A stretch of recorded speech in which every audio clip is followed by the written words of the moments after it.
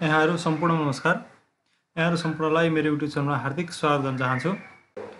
कृपया यस च्यानललाई सब्सक्राइब गरी नजिकैमा रहेको बेल आइकनलाई दबाउनुहोला। आज म तपाईँहरूलाई कम्प्युटरमा प्रिन्ट स्क्रिन कसरी गर्ने भन्ने सम्बन्धमा धेरै साथीहरूले एउटा भिडियो बनाउनुहोस् न भन्ने अनुरोध गरेकोले म भिडियो बनाउन गइरहेको छु। अत्यन्तै सजिलो छ। यहाँहरूलाई म एकदम इजी वेबाट प्रिन्ट स्क्रिन गर्नको लागि सिकाउनेछु। अब प्रिन्ट स्क्रिन कसरी गर्ने भन्नेतिर लागौँ है त। अहिले प्रिन्ट स्क्रिन गर्नको लागि एकदमै सजिलो वे छ स्निपिङ टुल भन्ने हुन्छ। स्निपिङ टुल गएर खोल्नुभयो भने ओके गर्नु होला अ, यस- यस्तो अप्सन आउँछ। यसमा चाहिँ तपाईँले न्यूमा जानुभयो भने जस्तै तपाईँले डेस्कटपको स्क्रिनसट गर्नुपर्ने छ भने आफ्नो कुन एरिया स्क्रिनसट गर्नुपर्ने छ त्यसमा ट्र्याक गर्न सक्नुहुन्छ।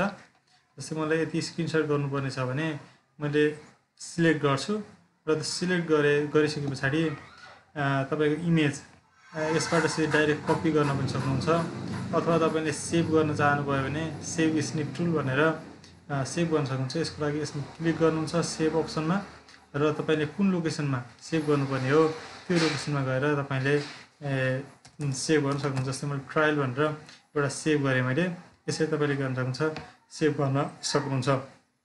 यो सबैभन्दा सजिलो मेथड हो।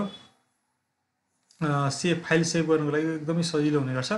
यसलाई डाइरेक्ट कपी गरेर तपाईँहरूले फेसबुक मेसेन्जरहरू अथवा अन्य ठाउँहरूमा पनि डाइरेक्ट पेस्ट गर्न सक्नुहुन्छ। त्यसै हामीले पहिलेदेखि गरिआएको एउटा अप्सन भनेको प्रिन्ट स्क्रिन भन्ने हुन्छ ल्यापटप अथवा कम्प्युटरको किबोर्डहरूमा। त्यसलाई कन्ट्रोलसँग print screen control plus print screen दबाउँदा त्यो के हुन्छ प्रिन्ट स्क्रिन हुन्छ। त्यसलाई हामी डाइरेक्ट डेस्कटपमा कपी पेस्ट गर्न सक्दैनौँ। जस्तै तपाईँले त्यो प्रिन्ट स्क्रिन गरेकोलाई मेसेन्जरमा सेन्ड गर्न चाहनुभयो भने मेसेन्जरमा सेन्ड गर्न सक्नुहुन्छ। जस्तै मैले ओडमा लगेर हजुरलाई देखाउँछु। जस्तै तपाईँ ओड ओपन गर्नुहुन्छ। ओड ओपन गरिसके पछाडि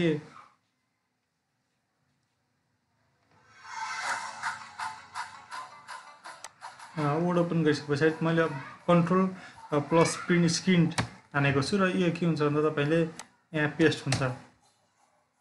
कन्ट्रोल भी गर्नुभयो भने यहाँ पेस्ट हुन्छ। जस्तै मैले अगाडि गरेको थिएँ। कन्ट्रोल प्लस प्रिन्ट स्क्रिन गरेको थिएँ। यो चाहिँ के भयो? यहाँ पेस्ट भएको छ। यसै गरी तपाईँले कुनै पनि आफूलाई आवश्यक पर्ने चिजहरू प्रिन्ट स्क्रिन गरेर सेभ गर्न सक्नुहुन्छ।